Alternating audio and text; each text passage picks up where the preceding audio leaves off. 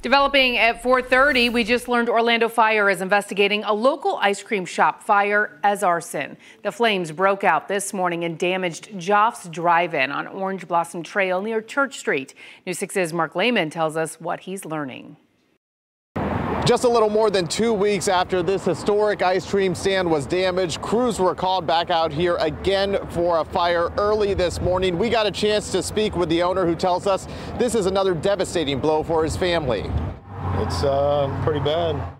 Todd Peacock taking us inside Goff's Ice Cream and showing the damage left behind. Uh, the roof ceiling tiles are burnt up, obviously.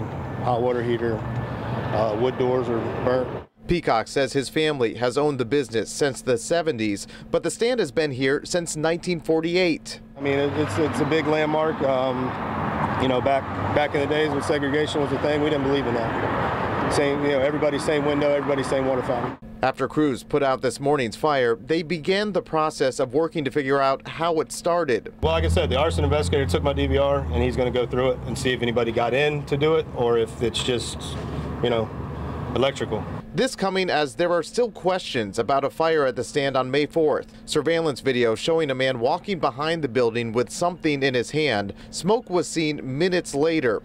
Despite that damage, the business was able to stay open. Now, though, it's been forced to close until repairs can be made. You know, that's why you have insurance, but, you know, how long will insurance take, we don't know. I mean, we'll just, you know, go from here. As the cause of this fire remains under investigation, anyone who may have seen something early this morning is urged to call the Orlando Fire Department. Meanwhile, the owner tells us he's determined to get things back up and running as soon as possible. In Orlando, Mark Lehman getting results, News 6.